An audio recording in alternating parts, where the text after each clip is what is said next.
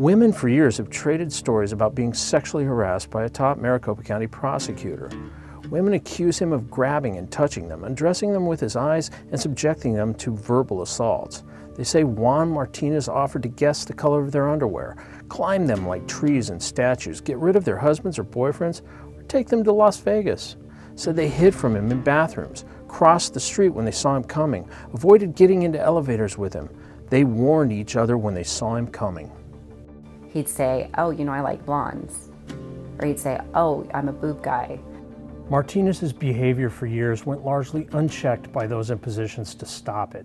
County attorneys overlooked conduct that could have ended in termination. Judges rarely called him out. And the organization charged with regulating lawyers routinely dismissed complaints against him. Martinez is one of Arizona's most high profile attorneys. His name is synonymous with death penalty convictions. He categorically denies sexually harassing women. He maintains they either lied about what happened or misinterpreted his actions. His attorney has said women made up stories to get back at him. The Arizona Republic documented the cases of 17 women who say Martinez harassed them. They include law clerks, judicial assistants, a defense attorney, trial bloggers, and a juror. It would be easier to come up with a list of women at the courthouse that he had not sexually harassed than the list that he had. I had, I can't even tell you how many women said that to me. It'd be easier to tell you who he didn't than who he did. One woman said he grabbed her buttocks during a trial. Another woman says he shoved her face into an evidence box containing the rotted clothes of a murder victim. He took his hand on the back of my neck and pushed my face into the clothing. By sticking my head in there, I would think my DNA went into the clothing. Mm-hmm. He was tampering with evidence. Complaints go back to when Martinez was a newly minted deputy county attorney in 1989. While supervisors lauded him as one of the office's most successful trial lawyers, he left a whisper trail of harassment allegations through the administrations of four county attorneys. His alleged sexual misconduct first became public during his biggest prosecution. It threatened to derail his career. The Jodi Arias murder trial made Martinez famous. They began to engage in sexual relations. And obviously, that is against the Mormon faith and it provided conflict for both of them. That here they were sinning, if you will, all the time. Martinez was the lead prosecutor in a trial where the details of sex drew a national audience. Media from all over the world descended on Phoenix. The trial drew spectators who began blogging about salacious testimony. Two of them caught Martinez's eye. Cherie Ruiz and Jen Wood were known as the trial divas. Ruiz said Martinez routinely made inappropriate comments to her. Men say things and you just kind of learn to blow it off. I think what I was more surprised about was his persistence and how he continued even when I wasn't responding to him and I made it very clear that I wasn't interested in him. Ruiz told Martinez she was happily married, but he continued. Get a clue. It's it's A, it's not appropriate.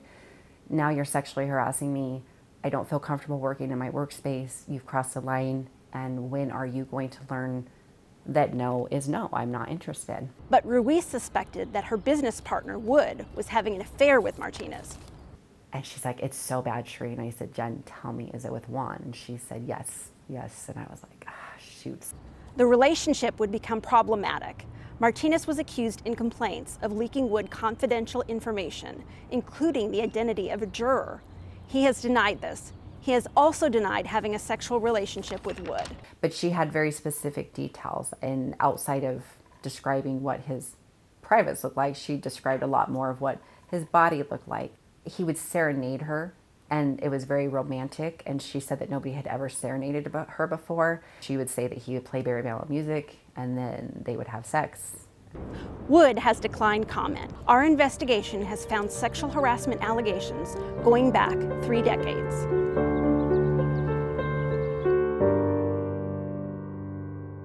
For years, none of the sexual harassment claims or unethical charges seemed to stick.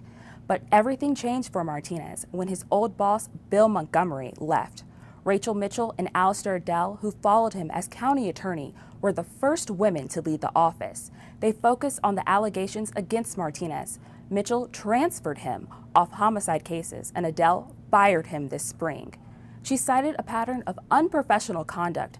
Issues that developed during the Jodi Arias trial didn't fade away. Karen Clark was filing and refiling ethic charges, alleging misconduct during that trial. The bar charge that I filed included allegations that Mr. Martinez had texted with, uh, sexted with a juror that had been removed, juror number three. The allegation that um, he'd had this improper relationship with a blogger to whom he was uh, leaking information. Then the Arizona Supreme Court reprimanded him for ethical misconduct in three capital murder cases. The state bar was pursuing a complaint that he harassed Maricopa County's legal staff, among several others. I gave the bar the names of 18 women. In July, Martinez walked away, cutting a deal with regulators that he would give up his law license in exchange for the ethic charges to be dropped. The women involved asked why it had taken so long.